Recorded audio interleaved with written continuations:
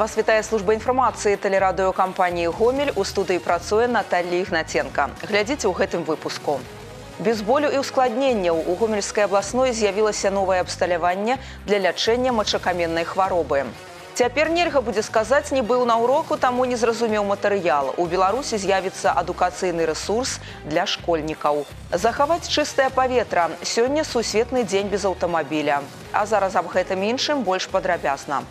Сёння ў гомельскім аблвыканкаме прайшлі перамовы з прадстаўнікамі славенскай кампаніі рыка. На сусветным рынку яна вядомая рэалізацыяй праектаў у сферы энергетыкі, будаўніцтва, лёгкага і грузавога аўтамабілябудавання і экалогіі. Пры гэтым кампанія аказвае садзейнічанне ў прыцягненні замежных інвестыцый на выгадных для заказчыка умовах. За сем месяцаў гэтага года тавараабарот гомельскай вобласці з рэспублікай Славенія склаў больш як 1 мільён 850 тысяч долараў, што на 4 проценты больш аналагічнага леташняга перыяду. Партнёраў у гэтай краіне маюць такія прадпрыемствы як БМЗ, Беларуснафта, Светлагорскім валакно, Светлагорскі цэлюлозна-кардонны камбінат і гомельскі хімічны завод. Разам з тым удзельная вага Славеніі ў агульным тавараабароце гомельскай вобласці складае ўсяго 5 сотых процента. Праведзеная сёння сустрэча накіравана на пашырэнне супрацоўніцтва. У прыватнасці размова ідзе аб рэалізацыі праектаў па перапрацоўцы адходаў, у тым ліку таксічных, будаўніцтве мастоў і электрычных падстанцый, а таксама так званых разумных складоў.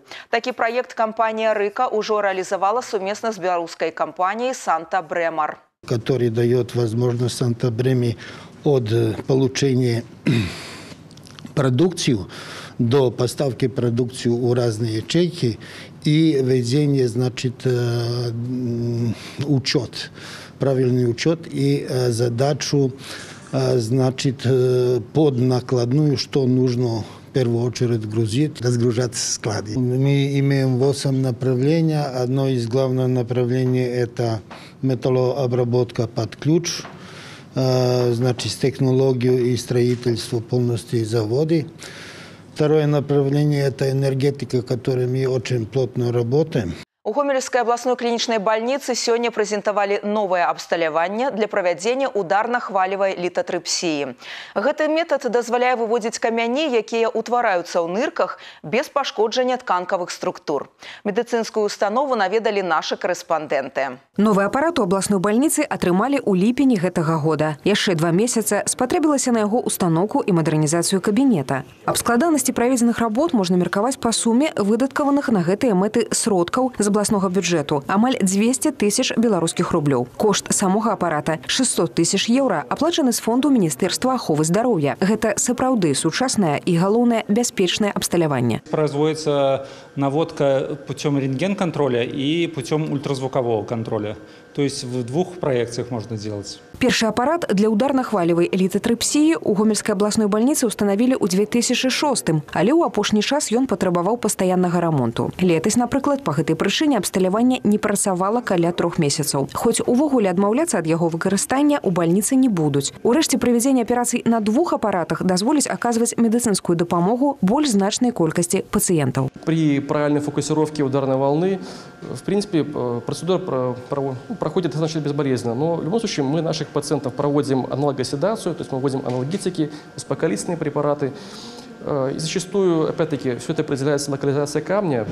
Если же зачастую ударная волна может проходить и резонировать через костные структуры, тогда ну, пациент ощущает некоторый дискомфорт в области прохождения волны. У более тучных пациентов по времени это будет несколько растянуто, ну и эффективность будет несколько ниже.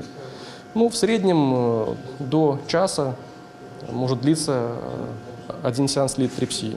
Сёння ў гомельскай вобласці аперацыі па літатрыпсіі праводзяцца толькі ў абласной бальніцы. У 2015 годзе тут поўнасцю адмовіліся ад адкрытага хірургічнага ўмешальніцтва, што дазволіла прадухіліць магчымыя пасляаперацыйныя ускладненні. Асвоены ў гомелі метад з'яўляецца тым больш актуальным, што ў свеце азначаецца стабільны рост колькасці пацыентаў з мочакаменнай хваробай. За апошнія 30 гадоў паказчык захворваемасці павялічыўся амаль на 40 процентаў. Алег Сунцюров, Ольга Канавалова, Валерый Гапанько, тэлерадокампанія «Гомель».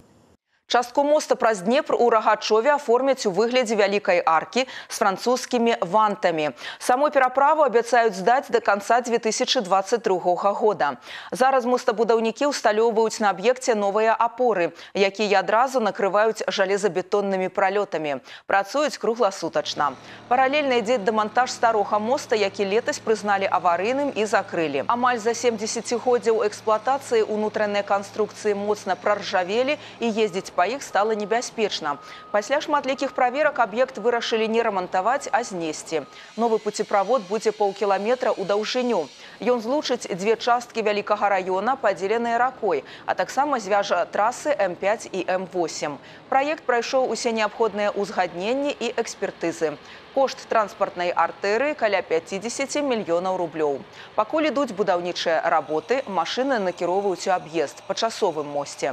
Яго ўстанавілі з дапамогай ваенных. Інакш на другі бераг было б не трапіць. 300-метровую металічную канструкцыю грузападымальнасцю 60 тонн потым зноў разбяруць і будуць выкарыстоўваць на іншых будоўлях. Работаем круглые сутки с 8 до 8. Также приходит ночная смена с 8 вечера до 8 утра. Что-то можем не успеть. Ночная смена доделывает это, ну, ускоряет процесс, можно сказать, в полтора-два раза. Не толькі падчас пандэміі, калі яна здарыцца. У Беларусі амаль гатовы грунтоўны і зразумелы настаўнікам, вучням і бацькам інтэрактыўны рэсурс для дыстанцыйнага навучання школьнікаў з першага па 11 клас. Карыстацца ім будзе зручна як тым, хто прапусціў урок, так і тым, хто быў, але не да канца зразумеў яго змест. Зараз інфармацыя для партала дапрацоўваецца і шліфуецца, а з першага студзеня будзе даступная кожнаму. Марына Севрыянова з падрабязнасцямі. Многія дзеці пасля вясенніх канікулаў так і не вярнуліся ў школы. Пандэмія літаральна паралізавала навучальны працэс. Каб дапамагчы настаўнікам працягваць заняткі, для школ быў падрыхтаваны адукацыйны рэсурс. Усяго за чатыры дні ў гомельскім абласным інстытуце развіцця адукацыі распрацавалі веб-настаўніцкую с тлумачэннямі матэрыялу і відэароликамі. Когда мы столкнулись с проблемой, что часть детей осталась дома, а часть детей пришли в школу, и на учителя может лечь двойная нагрузка, мы э, очень быстро разработали информационный ресурс «Веб-учительская», который помогает учителям э, заниматься с детьми э, самостоятельно оставшимися дома. Э, Теперь, когда мы стали работать, летом пришло осознание, первый шок прошел, мы поняли, что ведь не только в период пандемии или как- какого-то там заболевания такого массового нужна такая помощь учителям, но и есть дети, которые просто, ну, например, сломал ногу, и он должен два месяца находиться дома, он не может посещать школу. Есть дети, которые в середине учебного года по медицинским показаниям с родителями уехали в санаторий и вынуждены там с родителями заниматься. А, например, физика седьмой класс уже не каждому родителю по- посильно, скажем так, да, проверить знания. Поэтому мы поняли, что ресурс нужен независимо от того, будет вторая волна пандемии или не будет Мы должны поддержать тех детей, кто занимается дома. І на ўзроўні дзяржавы было прынята рашэнне стварыць рэспубліканскі рэсурс для навучання школьнікаў з першага па 11 клас. У нашым рэгіёне работу па падрыхтоўцы контента курыруе абласны інстытут развіцця адукацыі. Педагогі Гомельшчыны распрацоўваюць 13 навучальных курсаў. У рабоце занятыя лепшыя настаўнікі. Яны записываюць ролики з тлумачэннем новага матэрыяла. І тады дзеці, якія прапусцілі нават адзін дзень заняткаў, змогуць не адстаць. Дзякуючы такому зручнаму адукацыйнаму рашэнню, бацькі таксама атрымаюць магчымасць дапамагаць сваім дзецям асвойваць незнаёмы матэрыял. На уровне республики сегодня создается единый информационный образовательный ресурс. Э, На этом ресурсе э, будут размещены видеоролики объяснения нового материала. Э, Лучшие учителя страны записывают эти ролики, и для родителя будет э, удобно послушать объяснение, если он что-то забыл, и потом спросить у ребенка. Кроме этого видеоролика, еще будут подготовлены тесты для самопроверки, для того, чтобы ребенок мог понять, насколько он хорошо усвоил материал. Дополнительные ссылки на страницы учебника, методические, там э, различные э, ресурсы еще тоже будут к этому подключены. Дапаможа новы адукацыйны рэсурс і маладым настаўнікам. Яны змогуць віртуальна атрымаць свой асаблівыя майстар-класы ад вопытных педагогаў, дзякуючы іх відэаролікам. Марына Северянова, Ігор Марышченко, тэлерадыокампанія Гомель. Абласное аб'яднанне прафсаюзаў працягвае акцыю пад назвай калі мы разам у падтрымку мірнай і стабільнай беларусі на гэты раз яе ўдзельнікі адправіліся ў камбінат усход каб дапамагчы на ўборцы ўраджаю чацвёрты год запра прафсаюзы бясплатна працуюць у сельхазпрадпрыемствах гомельскага района. Сёння працоўны дэсант займаўся зборам яблыкаў дарэчы клопат аб працаўніках гаспадарак гомельшчыны прафсаюзы праяўляюць на працягу ўсяго сезону напрыклад удзельнічаюць у асна аснашчэнні санітарна-бытавых пакояў на прадпрыемствах. Яшчэ адзін значны накірунак у шанаванні хлебаробаў тысячнікаў. Іх у гэтым годзе ў рэгіёне было 375 чалавек. Акрамя таго, два прадстаўнікі рэчыцкага района дасягнулі адзнакі ў 3000 тонн упершыню за доўгія гады. Для всех людей прозвучали слова благодарности, слова признательности за их подход, за их отношение к крестьянскому делу. Э, каждому мы постарались найти, э, для каждого мы постарались найти свою изюминку. Эм, профсоюзами затрачено более 120 тысяч рублей только на промежуточном итоге. Конечно, основной э, фейерверк успеха оценки будет озвучен на областных дожинках. Инициатива проведения акции «Калі мы разам» належыць областному прэзідыуму прафсаюзаў. Кожны район выбірае свой фармат правядзення. Святочныя канцэрты, спартыўныя спаборніцтвы, турыстычныя злёты, мото- і велапрабегі альбо дабрачынныя кампаніі. Сёння больш як 50 краін свету прынялі ўдзел у штогадовай акцыі дзень без аўтамабіля. Беларусь не выключэнне. Як экалагічная кампанія праходзіла ў гомелі, даведаліся нашы корэспандэнты. Акцыя чысты аўтамабіль на плошчы паўстання прыцягнула ўвагу многіх аўтааматараў. Кагосьці інспектар даі запрашаў прыняць у ёй удзел, а некаторыя самі з інтарэсам правяралі свае транспартныя сродкі. Газааналізатар вымярае ўзровень СО, які аўтамабіль выкідвае ў атмасферу. Калі паказчык перавышае норму, вадзіцель атрымлівае неабходныя пэўныя рэкамендацыі. Па словах супрацоўнікаў камітэта прыродных рэсурсаў і аховы навакольнага асяроддзя, сітуацыя з забруджваннем паветра сапраўды сур'ёзная. Заклік адмовіцца ад аўтамабіля хаця б на дзень мае падставы. В целом от мобильных и стационарных источников выбросы в атмосферный воздух по Гомельской области составляет 93 тысячи тонн в год. В том числе от мобильных источников этот объем составляет 96,3 тысячи тонн, что составляет более 52%. Столь значимые выбросы, ну, все они остаются, как говорится, в атмосфере и оказывают серьезное э, влияние на экологию нашей области.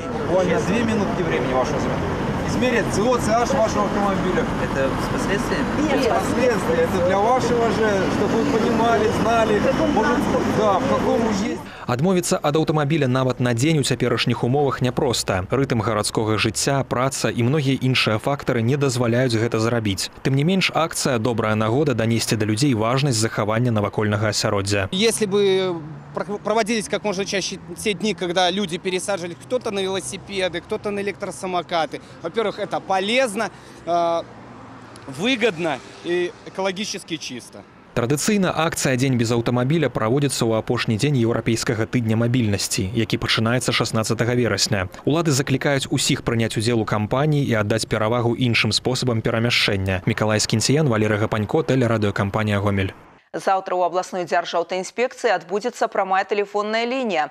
На пытанні па нумары 50 55 48 адкажа начальнік управлення даі у узгомельскага аблвыканкама падпалкоўнік міліцыі Андрэй Мікалаевич Гаркуша. Час работы прамой лініі з 11 до 13 гадзін. У Октябрьскім раёне нельга ў лес. Ён адзін з трох у Беларусі, дзе ўвялі абмежаванні. Па прычыне непавосеньскі спякотнага надвор'я ў некаторых рэгіёнах высокі клас пажарнай небяспекі. Галоўная мэта забароны бяспека грамадзян, захаванасць іх маёмасці і ляснога фонду.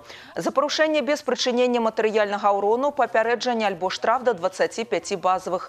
Аператыўна атрымаць інфармацыю, дзе ўведзена ці знятая забарона на наведванне лясоў, можна на інтэрактыўнай карце. Яна размешчана на сайце міністэрства лясной гаспадаркі. Гэтыя, а таксама іншыя навіны, інфармацыю аб праектах тэлерадыёкампаніі Гомель вы можаце знайсці на нашым сайце ў інтэрнэце па адрасе трайное w кропка цвяргомел кропка бівай.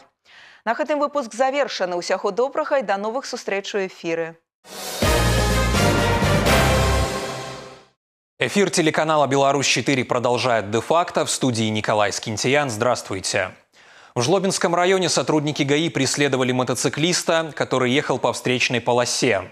Наряд ДПС подал сигнал об остановке, но водитель просто объехал патрульный автомобиль и продолжил движение. Началось преследование. Несмотря на попытку скрыться, мужчину задержали. Нарушителем оказался местный житель 1968 года рождения. Он был пьян и не имел соответствующей категории на управление мотоциклом. В отношении него составлено 6 административных протоколов. Госавтоинспекция напоминает о том, что управление транспортным средством в состоянии опьянения, передача управления транспортным средством такому лицу, либо отказ от прохождения медицинского освидетельствования влечет наложение штрафа в размере от 50 до 100 базовых величин с лишением права управления сроком на 3 года. В случае э, такого повторного нарушения в течение года после наложения административного взыскания э, человек может быть привлечен к уголовной ответственности э, в соответствии с статьей 317 прим. Уголовного кодекса Республики Беларусь. Также специальной конфискации подлежит э, транспортное средство, на котором совершено преступление. Любопытство завело в западню. В Гомеле кот застрял в вентиляционной трубе гаража и самостоятельно выбраться не смог. Работники МЧС при помощи подручных средств достали трубу, после чего извлекли животное. Кот не пострадал, ветеринарной помощи не нуждался. Его спасатели передали хозяевам. Под Гомелем женщина перевозила в легковом авто почти 200 литров спирта. Машину Volkswagen Golf остановили на автодороге М10 Гомель-Кобрин. За рулем находилась 50-летняя жительница Речицы. На заднем сидении и в багажнике ее транспортного средства были обнаружены коробки с пластиковыми канистрами. Внутри каждой находился спирт. Всего изъято 190 литров. Проводится проверка. Гомельские эксперты помогли раскрыть кражу из незапертого автомобиля. Злоумышленник вытащил ночью телефон телефон и сумку с документами и деньгами. Специалисты Комитета судебных экспертиз обнаружили след пальца руки. По данной улике была назначена дактилоскопия. По ее результатам установлено, что отпечаток принадлежит гражданину Украины 1983 года рождения. Мужчина задержан, возбуждено уголовное дело. Гомельская пограничная группа информирует, на стрельбище Борщевка войсковой части 1242 будут проводиться учения. Стрельбы запланированы на периоды с 22 по 25 и с 28 по 30 сентября. Время с 10 до 18 часов. Объект расположен вблизи населенных пунктов Якимовка, Чижовка и Борщевка. Во избежание несчастных случаев не приближайтесь к стрельбищу и не заходите за рубеж, обозначенный указателями на местности. Это все новости на сегодня. Оставайтесь с нами и берегите себя. Благодарю за внимание. До свидания. На телеканале «Беларусь-4 Гомель» новости спорта в студии Максим Савин. Здравствуйте. Два игрока Гомеля в квартете лучших по итогам минувшей недели в белорусской хоккейной экстралиге.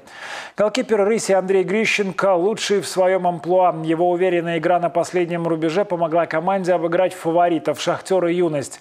В каждом из поединков Грищенко пропустил по одной шайбе. При этом оба раза Гомель играл в меньшинстве. Лучший форвард недели Игорь Ревенко. Его вклад в победу над горняками игроками юностью 3 плюс 2 по системе гол плюс пас. После пяти сыгранных туров Гомель лидирует в чемпионате. Высшей лиге хоккейного чемпионата страны сыграны очередные поединки. Жлобинский «Металлург-2» на домашнем льду дважды встречался с дублем Бреста. В обоих поединках столевары праздновали победу со счетом 5-1. Жлобинский коллектив сейчас располагается на третьем месте в таблице чемпионата. Гомель-2 на девятом. Рыси провели дома два поединка против Лиды-2. В первом сильнее были гости 6-3. На следующий день хозяева взяли не менее уверенный реванш 7-4. Завтра Гомельская энергия проведет матч первого тура чемпионата Беларуси по волейболу среди мужских команд. На арене спорткомплекса «Локомотив» в нашем областном центре новоиспеченный бронзовый призер минувшего чемпионата встретится со столичным «Мопидом». Начало поединка в 19.00. Мужской гандбольный «Гомель» также продолжит борьбу в чемпионате. Завтра подопечные Андрея Мочелова дома играют со столичным «Витязем». Игра пройдет во Дворце игровых видов спорта. Стартовый свисток прозвучит в 18.00. На данный момент Гомель занимает второе место в таблице чемпионата Беларуси. В ближайшую пятницу откроется тренинг-кемп женской сборной Беларуси по гандболу. Под руководством Томажа Чатера будут работать 22 гандболистки. На сбор в Минск вызваны 6 представительниц Гомеля. Это голкипер Юлия Кунцевич и полевые Наталья Котина, Ирина Дронова, Татьяна Самсонова, Ирина Мокот и Кристина Охраменко. Национальная команда в Доме гандбола будет готовиться к отбору на чемпионат мира 2021 года. С 4 4 по 6 декабря в Минске белорусские сыграют с командами Швейцарии и Фарерских островов. Команды Гомеля и Гомельского района стали победителями областных Олимпийских дней молодежи по вольной борьбе. Состязались юноши и девушки 2003 года рождения и моложе. Всего более 120 спортсменов. У юношей лучшими в командном зачете стали борцы из Гомеля. На втором месте команда Кармянского района, на третьем – Мозырского. У девушек равных не было сборной Гомельского района. Далее в итоговом протоколе расположились сборные Речицкого и Светлогорского районов. Победители областных примут участие в республиканских Олимпийских Олимпийских днях молодежи. Турнир с 1 по 3 октября пройдет в Минске. На этом пока все. С новостями спорта вас знакомил Максим Савин. Оставайтесь на Беларусь 4.